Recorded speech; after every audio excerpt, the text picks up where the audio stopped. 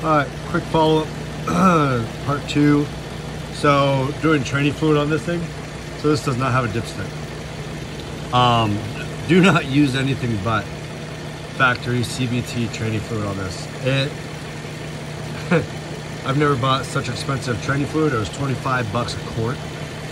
Um, usually when you get a um, unit from a junkyard, they drain it from the pan. I pulled my torque converter just to make sure they didn't pull that and drain it, which they did not, which I'm grateful for. But um, the way that you got to uh, make sure that you're up to level is uh, when you first get it up before you start it, this is your fill plug. Okay, pull that out, fill it up. I grabbed this thing because that always sucks. So AutoZone or whatever has this decent plunger. It seals, it doesn't leak. I got, I've gotten them at Harbor Freight before, and they just they, they just leak and they're just horrible. So I grabbed that. You got to use three of them just to get one quart. This is what you use for this Subaru, but call in on your VIN number for the um, and have them get the, whatever you need for the fluid. Make sure it's absolutely correct. So fill it up with it not starting before you started the vehicle so it starts coming out. Put that back on. And then you need to start the car. And specs say they want the temperature, transmission temperature, not engine temperature, transmission temperature between 95 and 113. All right, so between 95 and 113 for transmission temperature. So the tough thing with that is you definitely need to have a scan tool that can read your training temp.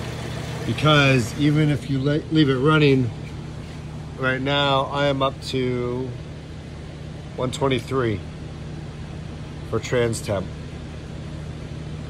So if I was to try to check it now and make sure that it's up to par, it's gonna be it's gonna be off. It might show that I have too much in there, but I actually wouldn't.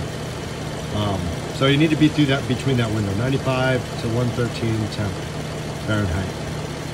Um, and um, that is pretty much it. It was it was pretty painless. Again, this mount on this driver's side, when I was putting this guy back together, that mount had shifted, and that one bolt that I didn't that you can't pull out because it hits a frame rail had slid back between the bell housing and the training and that was I, I, I, didn't see it. I was trying to get them pull them back together until I was up top. I was trying to figure out why they weren't pulling. I thought it was, just wasn't square to the engine. The dowel pins were catching, but then I looked down, I saw that, so I had to come back down and go backwards. So keep an eye on that mount and that big bolt that goes all the way through because that will slide back in and get in your get in your way.